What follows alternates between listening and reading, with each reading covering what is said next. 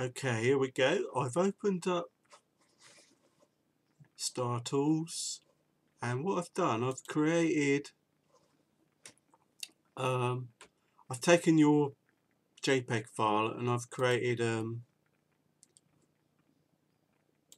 let me say, I've split it, split it up into RGB luminance, red, green and blue, whatever that means, using a bit of software I, I use. So I'm just going to open each layer. That's the luminance. What does it say? Red. That was red. Find the green. Let's do this quickly. What's next? Blue. There's the blue blah blah blah blah blah. So there's your there's your file split up. All there there. So I'll just keep that and then it will say the normal screen. I I don't know why these days I tend to choose number two. It says there's some possible stacking artifacts. You see it's quite a, a wide file just get I'll just quickly go through the normal Schmeichel. So that's a quick auto dev, shows you where your possible stacking errors are. Don't quite know how it's going to wangle stacking errors because the whole of the background is basically a, an anomaly. In any case. Now then. So we want to do a wipe, but we don't want to include these background areas. So if we go into mask, reduce it down, obviously it start everything starts green. Everything green means go, basically. So any module that you use, it will create it will act on anything that's green. So if I invert it, I could zoom up. This is my th thinking on this one. Zoom into our our area here that we don't want. Probably a bit too wide that actually. And if we go down to the bottom, you've got a, a click on there, you get a few options. Perhaps um, if I try flood fill in darker areas for initially it might work. So if I click on that now where all your dark black bits are it's going to fill it in with green. Okay initially that's that's cool. So if I would just go back out a bit. Obviously we've got some funny edges here. So you could if you go at the top you've got grow says grow so I can grow that mask. Okay I'm going to lose a little bit of the the thing. Keep going until we get get all the edges sorted out. I think there's a bit of black over here I'm just going to tweak over. You can tidy this up yourself at some point. If I just grow that little bit. Now let me zoom into that bit. Hang on. Just notice there's. I should be able to get that, shouldn't we?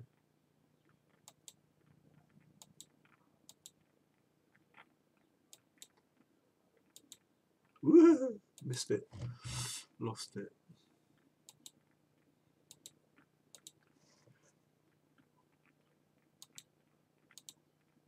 Hey, a wee beast.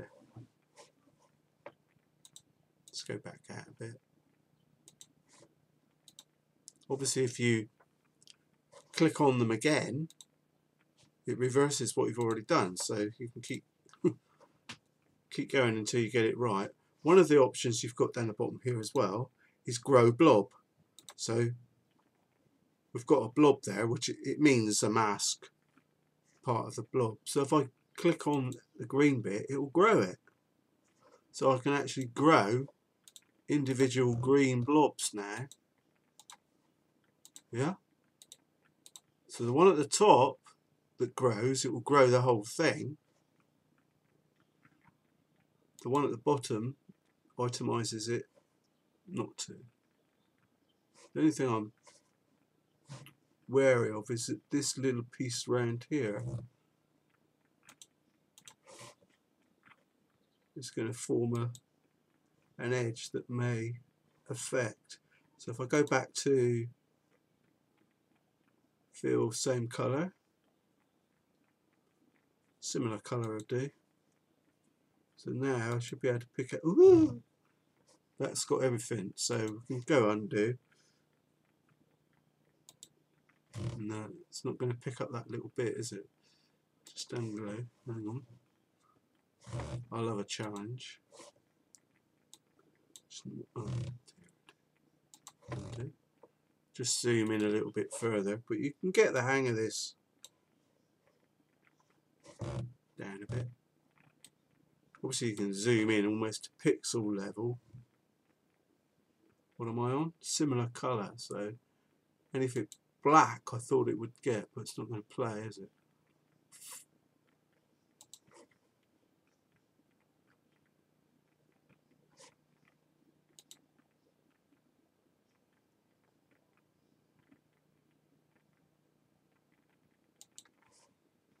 Flood fill darker colours. Seems like that one. Just thought I'd try and get these corner ones a little bit darker. And then when I grow, I go on to the back to the grow blob. I'm trying to do this quickly, but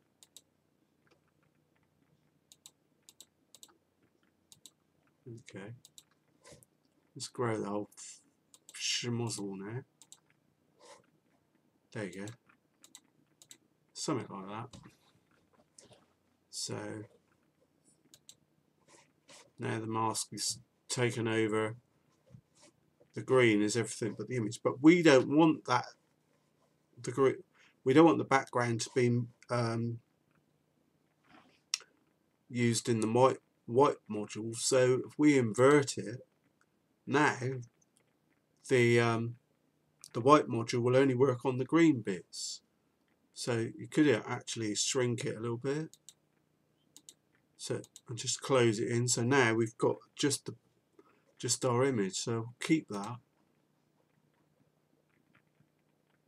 I'm not. I know I did an auto dev. I'm not worried about that. Now we can wipe it, and it will ask, do we want to keep the mask or fill it? So we want to keep it out of normal routine now. We're out of so there's our wipe our wipes just just concentrated on that do a keep perhaps go back into develop redo the global stretch Nigel's old trick of going down on about 10 on the gamma and then you can home in the best you can.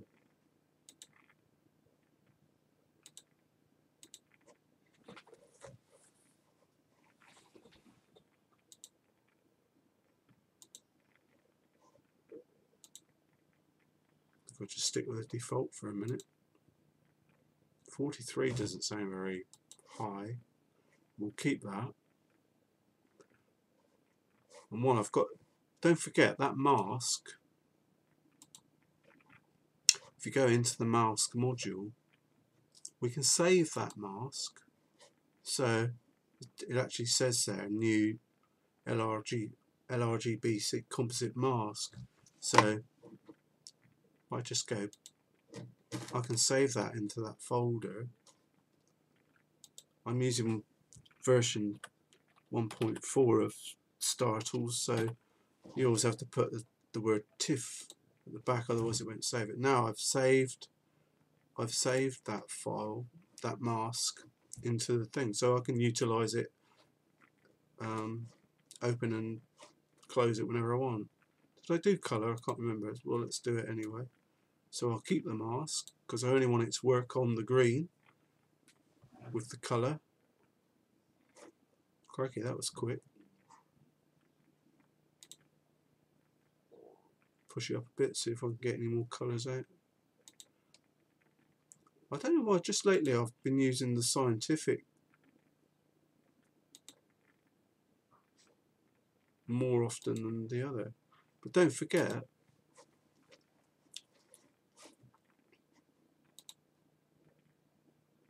push up dot saturation. So what was it before? Before it was like that. If anything, it's a bit too blue now. Anyway, this is about the mask, not the colours. I mean, you can play in here for hours anyway, as you well know.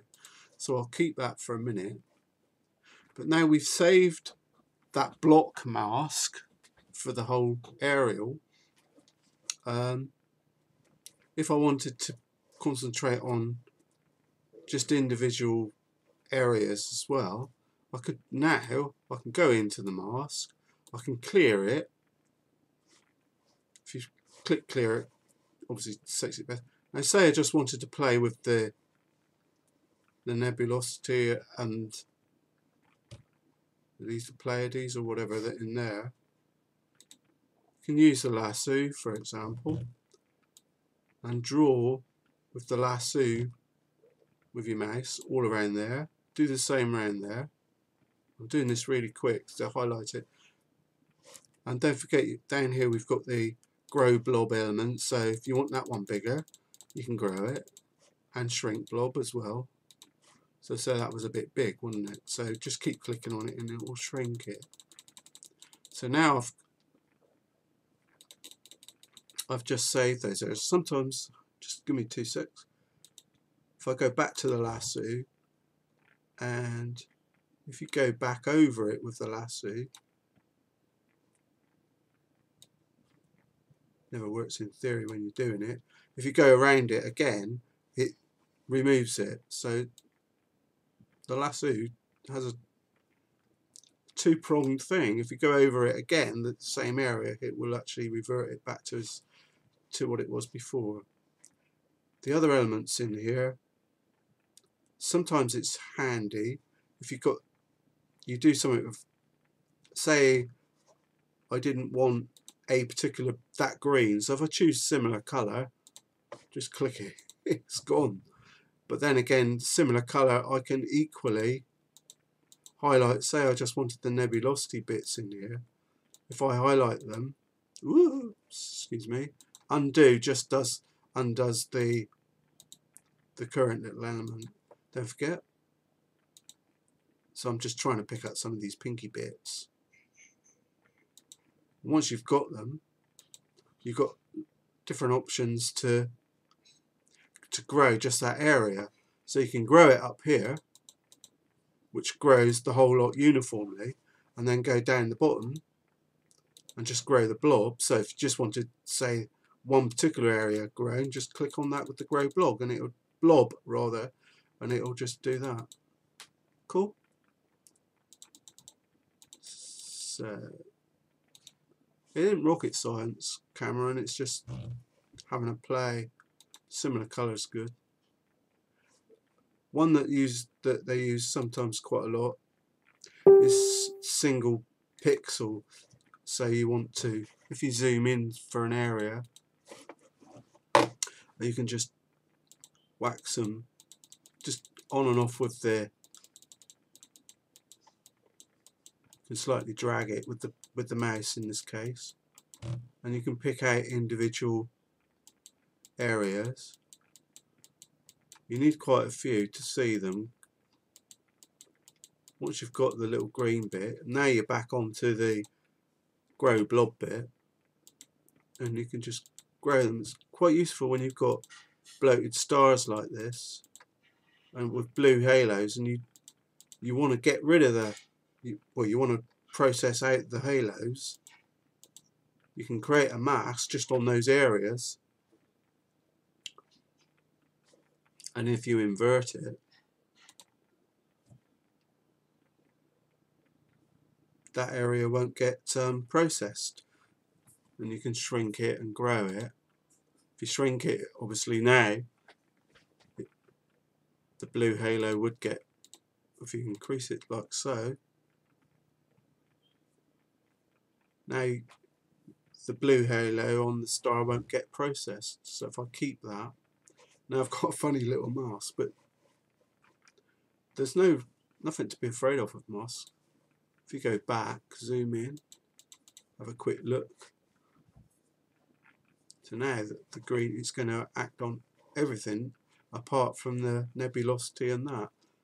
It's not quite what I expected to do. I wanted it to be the other way around, so I just want to work it on there. So now I can keep it. Perhaps go into, for example, the life module, which does utilize masks. I'm using, you can see that changed that then.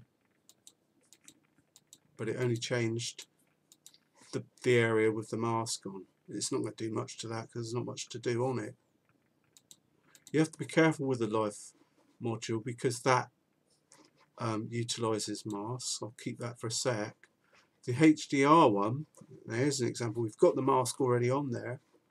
If I hit HDR, which you mentioned on your thing, zoom in.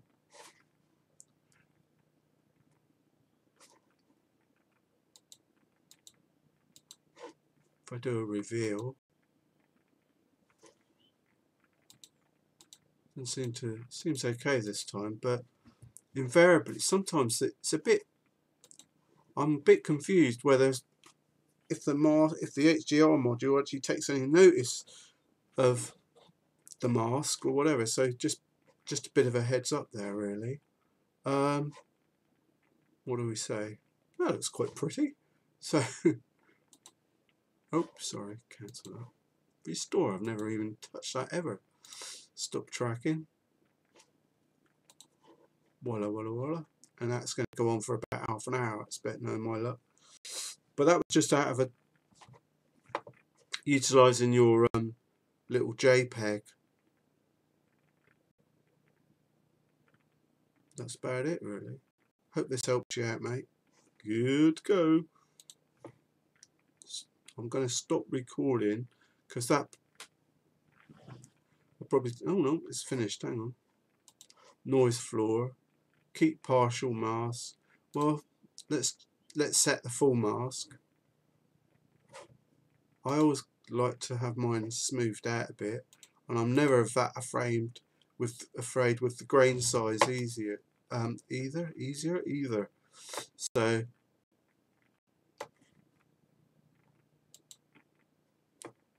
the old trick is to zoom in but this has been so wide field you'll get to pixel level very quickly. And it's a JPEG remember? So I just want it to be really highly smoothed out and re noise reduction. Dink dink do finish. Keep the result that's basic basically how you mask it and you can process it with that. Remember I'm using um,